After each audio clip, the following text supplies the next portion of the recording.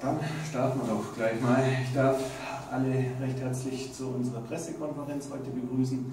Nach der Partie Buchler gegen Schongau möchte ich ganz herzlich auch den Gästetrainer Rainer Höfler herzlich willkommen heißen und natürlich auch Christopher Leitner auf Buchler Höfler, 5 zu 1 der Endstand heute Abend. Aus eurer Sicht ähm, kein gelungenes Wiedersehen in der Bayernliga mit uns. Vielleicht einfach ein paar Worte zu den 60 Minuten, die wir gerade eben gesehen haben, wie es zu der Niederlage für Ihre Mannschaft kam. Ja, gratuliere erstmal.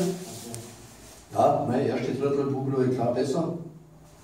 Eigentlich weniger als ihre Chancen gemacht. Ich denke dann so ab Mitte des Spiels waren wir gleichwertig. Aber der große Unterschied ist halt der, dass wir hinten Fehler machen, wie in einer Kleinschüler Und vorne keine Tore schießen. Bei Pule, die machen keine solchen Fehler und hauen ihre Chancen vorne dann rein. Danke. Schön zusammengefasst. Ja, kurzes, knackiges Fazit. Christopher, drittes Heimspiel, dritter Heimsieg, liest sich gut, war auch heute, fand ich, wieder eine strukturierte, äh, geschlossene Mannschaftsleistung mit doch durchaus ein bisschen mehr Zug zum Tor, fand ich heute auch. Hinten stand man gut. Ich denke, die drei Punkte gehen vollkommen in Ordnung, oder siehst du das anders? Ja, also danke für die Glückwünsche. Ähm, wir sind gut gestartet. Äh, erstes Drittel war, war schon top. Hätten wir vielleicht, wie der Kollege sagt, schon ein bisschen mehr draus machen können. Ja, und im, im Laufe des Spiels, im zweiten Drittel, ist, dann immer, ist es immer ruppiger geworden und mehr Strafzeiten haben uns dann ein bisschen ähm, aus, ja, aus dem Wagen geworfen, aber da ist einfach der Spielfluss ein bisschen verloren gegangen und äh, ja, wir haben super dagegen gehalten, wirklich eine Top-Teamleistung heute, ähm, vom ersten bis zum, zum letzten Mann, ähm, super kompakt verteidigt, alle zusammengearbeitet, jeder hat ihm geholfen und so konnte man da super dagegen halten und haben dann auch zum richtigen Moment noch die Tore geschossen.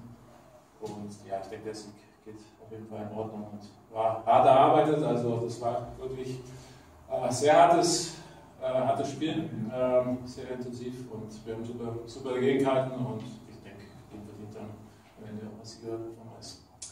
Frage an beide. Ich denke, Sie haben schon einiges im Eishockey miterlebt, Clary, du ja auch als Spieler, dass kompletter Block mal in einem Unterbuch auf die Strafbank wandert, sowas schon mal miterlebt. Das, ich noch nicht gesehen. Also Das das, ist etwas kurios sein, dass die Strafminuten in einem Unterbuch, ohne dass eine Disziplinarstrafe dabei ist, denke ich, sieht man nicht oft, aber war gerechtfertigt.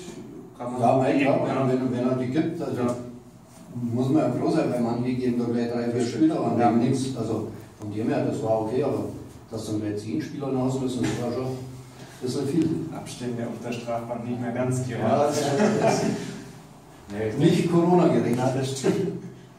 Ja, ich denke, das war ja, Schiedsrichter okay gemacht. Ähm, meine, es war Strafzeit. Das, das schauen wir mal dann, äh, da ein bisschen nachgeht, ist auch okay. Ja, das war dann alles ein bisschen eins gegen eins gerangelt. Das war alles im Rahmen, denke ich. Und dann ist es okay, wenn man gleich die großen Strafen raushaut. Und dann haben wir halt mal ein paar weniger auf der Spieleraum Ja. drüben. Ähm, bei euch, Matthias Müller, unter der Woche eine schwere Verletzung erlitten. Gibt es da irgendwelche Meldungen bezüglich seines Gesundheitszustandes? Ein wichtiger Spieler für euch. Ist natürlich bitter, dass der jetzt wahrscheinlich länger Straßenbein gebrochen. Aber Noch nach dem Training, also zum Ende hin des Trainings, ja, ganz begangen, schon operiert worden. Also, heuer noch schafft.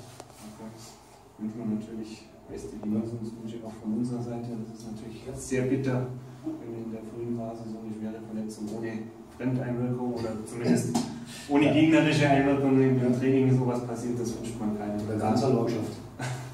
Ja, das kann er bestimmt darauf verziehen. Aber wie gesagt, gute Besserungswünsche an ihn und äh, hoffen, dass er bald wieder auf die Beine kommt. Christopher, Sonntag äh, Derby in Kempten. Äh, Das waren jetzt in der letzten Spielzeit, in den letzten zwei Spielzeiten immer rassige Spiele. Ähm, Zuschauer sind ähm, diesmal ja leider nicht ganz so viel dabei, wie sonst immer waren. Trotzdem denke ich, wird ein packendes Duell immer, oder?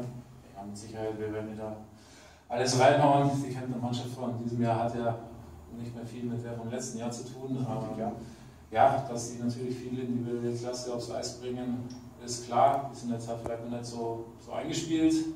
Ähm, aber jetzt sind doch auch schon ein paar Wochen vergangen und wir werden halt als, als Team und Einheit wieder voll dagegen halten und ja, dann schauen was geht. Aber wir fahren nicht hin, um, um die Punkte einfach da zu lassen.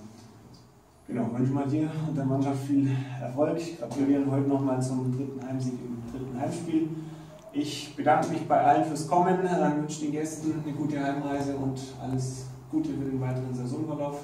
Wir sehen uns im Rückspiel, denke ich, hoffentlich nochmal. Und ja, das soll es für heute Abend gewesen sein. Wie gesagt, ich habe es vorhin schon erwähnt, Sonntag das Spiel kann auch wieder über Straight TV mitverfolgt werden. Das nächste Heimspiel dann Sonntag in einer Woche gegen Schweinfurt. In diesem Sinne einen schönen Abend zusammen und bis bald. Dankeschön. Okay.